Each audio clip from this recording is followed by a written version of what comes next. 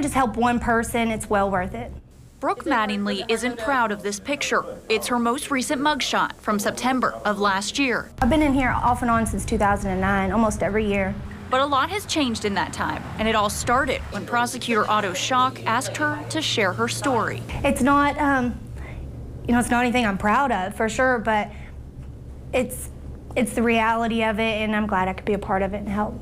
Brooke is one of several recovering heroin addicts featured in the documentary A Hit of Hell. It took me above and beyond even the pills. I mean, the pills were horrible, but this, this was a whole new hell.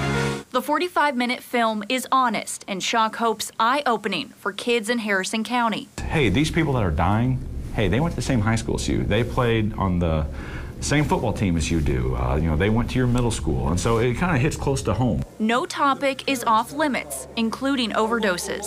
How many times? Four. I've overdosed, I think, six times. Six times. Yep. Brooke says she's lucky she only overdosed once.